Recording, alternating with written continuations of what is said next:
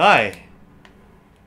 So what was up with that whole month of nonsense in January, huh? Putting up reviews constantly and like every other day. Well, uh, here's what happened. So I spent a lot of December thinking about whether or not I wanted to do this thing, and at the end of December I decided, well, I've got a week off and I do have visitors, but whatever. Uh, to hell with them. I'll think about videos. And uh, I would have done this in December, except I had visitors in December, and December was more important to me than January.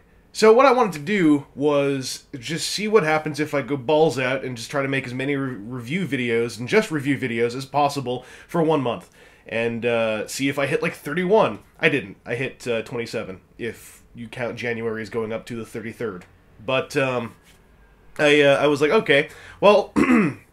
let's just see how this goes and uh, try to make a learning experience of it. And uh, holy crap, when you have other things in your life like work and podcasts that you host and edit, and internet radio things that you host every Sunday, uh, and you're trying to do this many videos, it becomes very difficult, especially with having a job in the middle of all of it.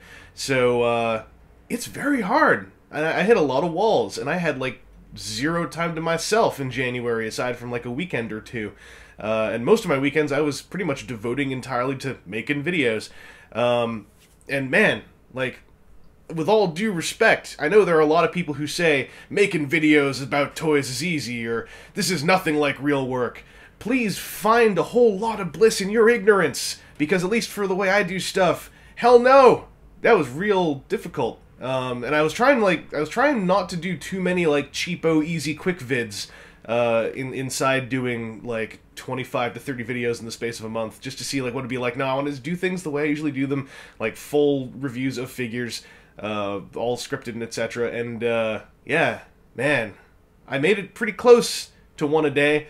Um, it was about the middle of the month where when when I was back at work and everything was piling up that wasn't videos where I was like, all right, I'm starting to fall backwards. And it was up until about the 25th where I still felt like maybe I can hit 30. And then uh, it became pretty clear I couldn't. But um, it seems a lot of folks were enjoying the, the dose of content. Uh, I was a little bit perturbed by the one or two comments I got saying, damn, I'm glad you're back to doing daily reviews like back in the old days because I never did daily reviews back in the old days.